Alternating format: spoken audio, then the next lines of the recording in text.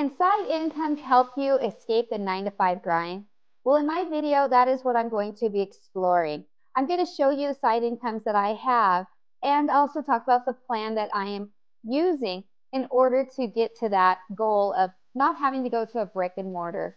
If that sounds like something you might be interested in, continue watching. All right, we're going to start with my side income. The first one that I have is SAT leader. Now, a SAT leader is a position at a school. So I'm very fortunate as a teacher. I have lots of opportunities for extra income.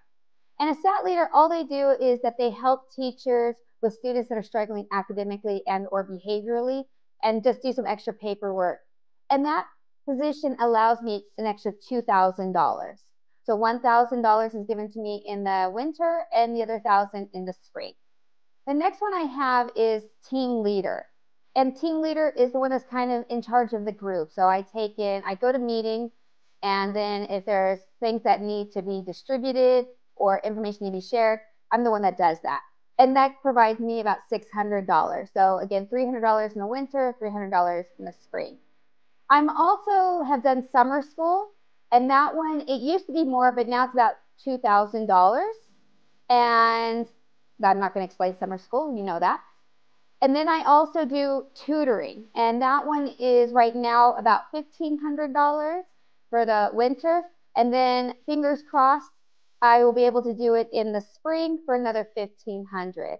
And so now there are other two side incomes that I am starting and I'm hoping will be profitable in the future. The first one is what you're watching, YouTube. I'm hoping to get monetized and having that bring in, I'm hoping good money, but at least start off with something. And the next one is I have started with KDP in creating notebooks and coloring books, agendas. And so I sell it through Amazon. That one I've been able to sell two things. So it's starting, but it's one that will take time. So I just have to be patient. If you are interested in looking at what I have created with my daughter and stuff like that, the information about it is in the description below. And the other one I have is not necessarily like a side income, but it is extra income that I get passively. And that is called TESOL endorsed. So as a classroom teacher, I teach students that not their first language is English. So I have strategies that I know how to use in order to reach those students so they can access the curriculum. And so you do get extra money for that. And it's $1,500. I get 750 in the winter, 750 in the spring. And the last one is not really a, uh, like a, some people might consider it side income, but it technically is, and that is the stock market. And I'm really focusing on the dividends as side income, but right now I'm just reinvesting so that money's not coming to me. But it makes enough that I can pull from it and use it where we need it. And if it turns out at some point we don't need it, then it just keeps building up the stock portfolio. And there's capital gains. There are some stocks that I have that I'm not planning on keeping forever and ever. And so those ones I'm hoping to get a good amount of profit and then sell. And the other one, like dividends, is uh, interest from savings.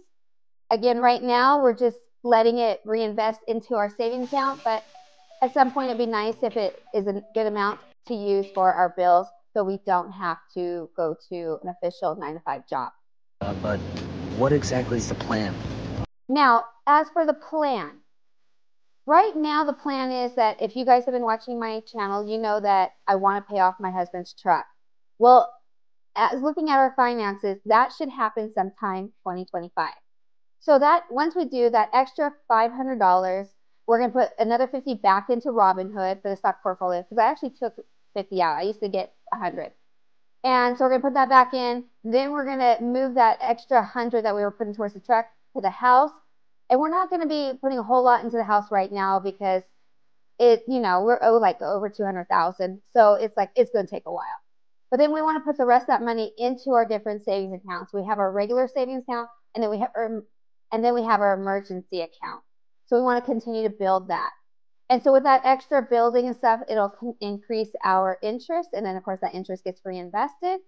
And the goal there is to focus more on our regular savings and put more into that one to build that one up because that's the one I would like to use the interest from.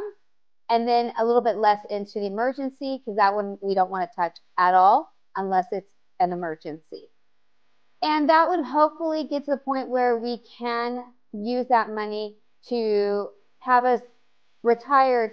But for me, my hope is to just move away from the nine to five uh, brick and mortar and still work, but maybe as a just for YouTube.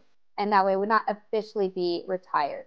So we know to be able to officially retire where we're both not working, we need about $9,000 a month. And that is including the inflation that happens. And so that is our plan.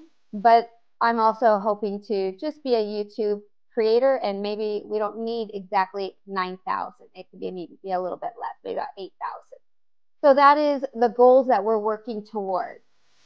If you found this video helpful or entertaining in any way, please give it a like. And if you like stuff like this about finances or just my journey, please consider subscribing. And if you think anybody else might be interested in this kind of information, please share it with them. It definitely helps my channel grow, which helps me reach my goal of monetization. I appreciate everything. Thank you so much. Bye.